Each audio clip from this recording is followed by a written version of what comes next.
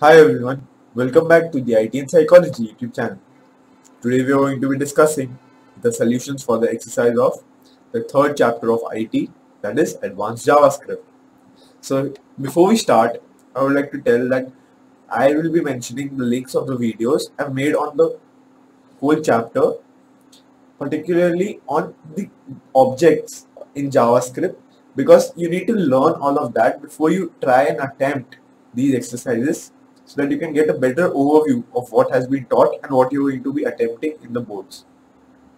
I've made videos on the previous chapters as well. I'll be mentioning the links in the description. If you want to know what is the reduced syllabus or what has been removed from the exercise portion, I've made individual videos on that as well for IT and psychology both. So the links will be mentioned. Please check them out ASAP. Here we start with question 1, fill in the blanks. Here the first question says dash script resides on server computer. So here the answer is the server side as we had learned in the first part.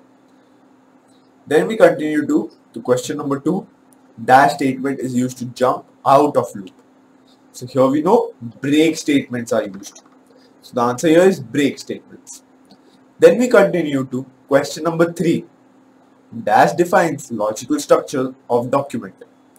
So here the answer is DOM. Document Object Model defines logical structure of document. Then we continue to question number 4. Dash, dash property of window object returns boolean value in dictating whether window is closed or not. So the answer here is the closed property of window object returns boolean value in dictating whether window is closed or not. Then we continue to question number 5. Dash event occurs when an element loses its focus. So this is the on blur event. On blur. Yeah. So here we continue to the question number two i'll just scroll down so that you can see the next question here so i have mentioned a list so that you can know what answers these are. So if you want this file you can contact me on telegram or you require any notes pertaining the chapters of IT and psychology please contact me on the group for doubts on telegram via the link given in the description. So here I'll scroll down to question number two. So before we start, I'll just tell you that math object and date object and array object and many more have been removed from JavaScript. So please watch the video on the removed questions first so that you, you know what you are going to attempt. And this removed syllabus and the reduced questions are only for students appearing for boards from the year 2020 to 2021.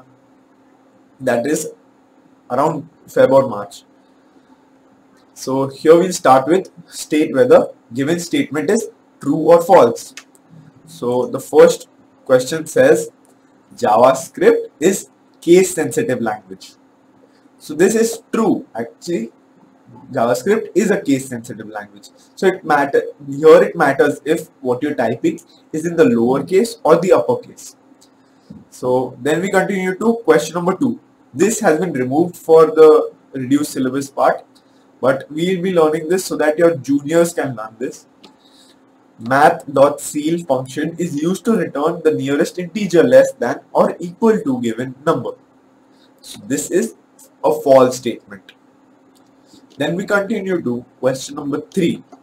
Max underscore value property of number object returns smallest possible value. This is a false statement. Then we continue to question number 4. Get day brackets method of day object sorry date object returns month in number. So this is a false statement. Then we continue to question number 5. On key down event occurs when user moves mouse pointer. This is a false statement again. So only our first statement is true and the rest are all false. So I'll just scroll down so that you can see a list of the solutions given. Please note it down as I'll just scroll down to the third question immediately. So here we'll just scroll down. I hope you have noted it down. Here. So these are the multiple choice questions. Select one answer. So here we'll start with the first one. JavaScript is a dash language. So here the answer is that JavaScript is both compiled and interpreted language. So the answer here is option number C. Then we continue to question number 2. Select correct method name of string object. So this answer is A that is the charAt option. So option A is correct for question number 2. So let's scroll down so that you can see sub question 3.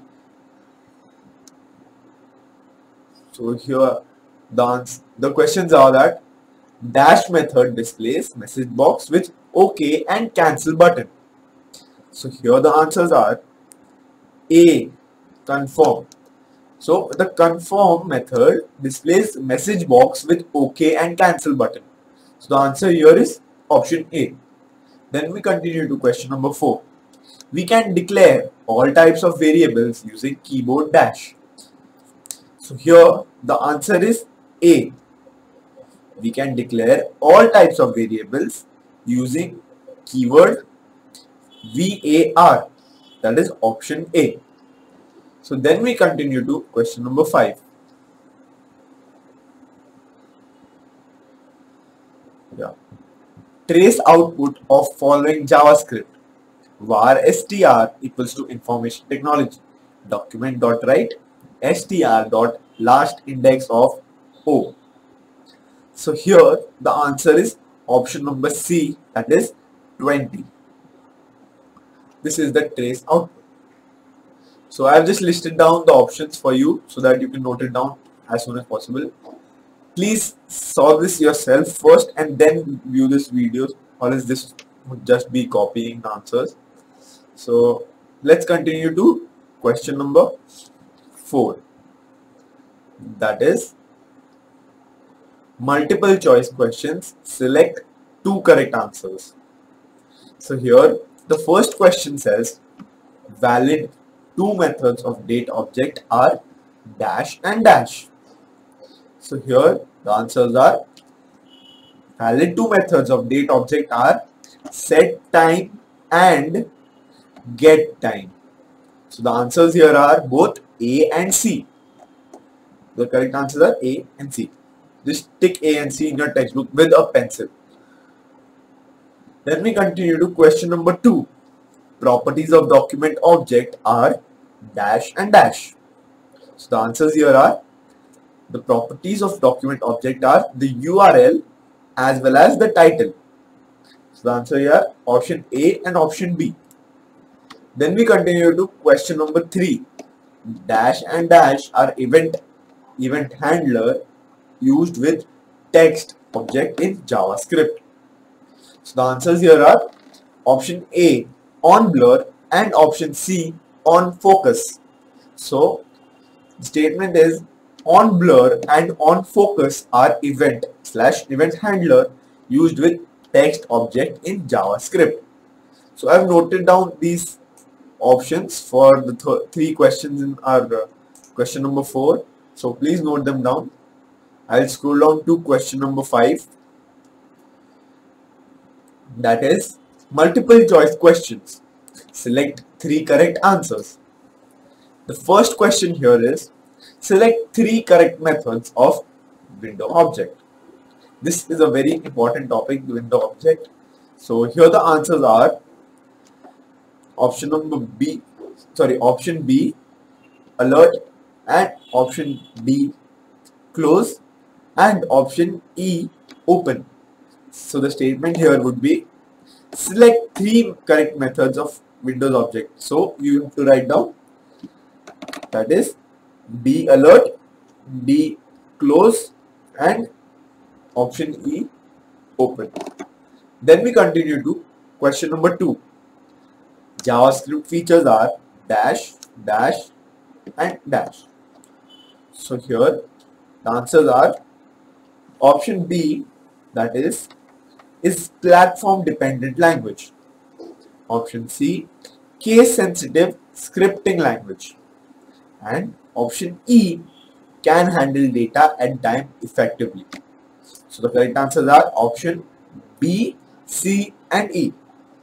Then we continue to question number 3 that is just down here. Yes. Inbuilt objects in JavaScript are dash, dash and dash. So the answers here are option number B, sorry, option B, date, option B, array and option E, number. So these were the answers for question number 5. So here we scroll down to question number 6. So the first question here is what are similarities and differences between client-side scripting and server-side scripting? So I'll just open the textbook part so that I can point out what is important and what has to be written in this question.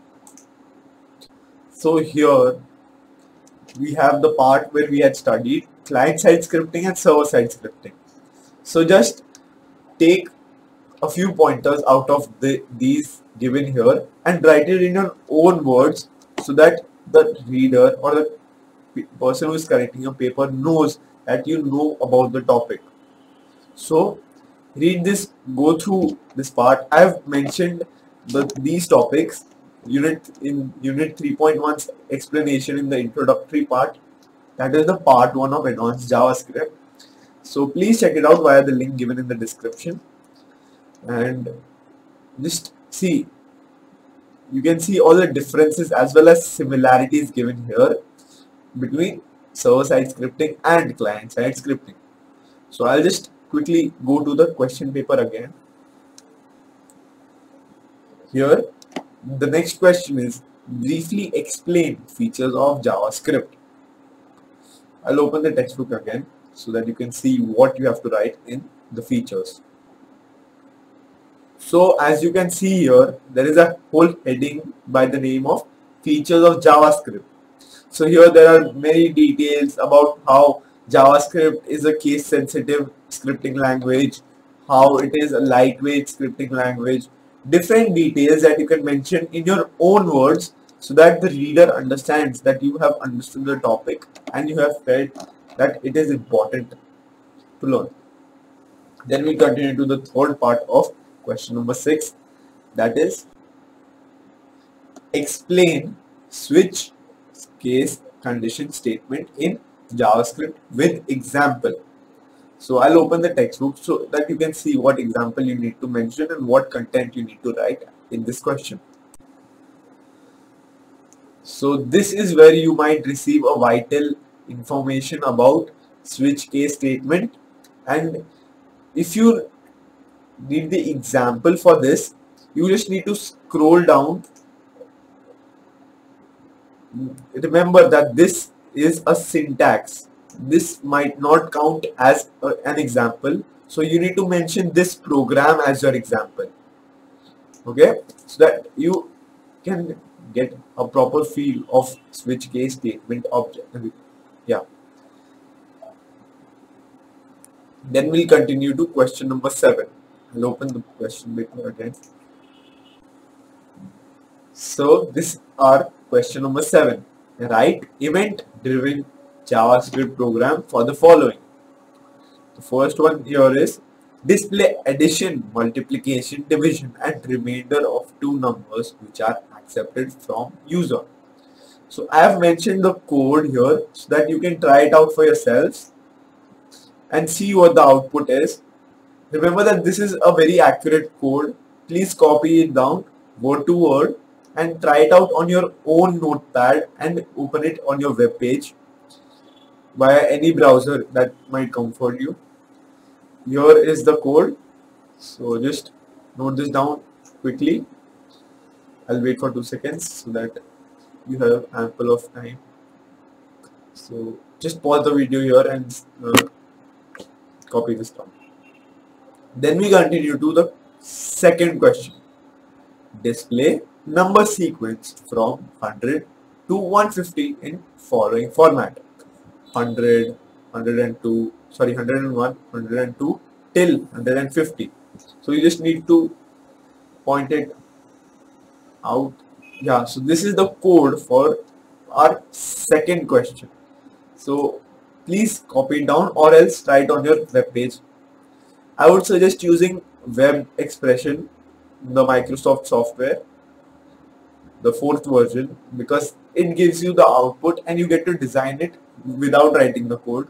But you need to have a habit of writing the code. So you could use NetBeans which would need a JDK that is the Java development kit or else you could use notepad as well. Then we continue to the third question find and display factorial of given number. So this is a, this is an important code. Please try this out so that you can get a better understanding. Just by seeing the code you won't know what output you might receive. So try it out on your own PC or uh, laptop device. Then we continue to question number 4. Accept any string from user and count and display number of vowels occur in it. Occurring in it. This should be occurring in it. Here the code has been given.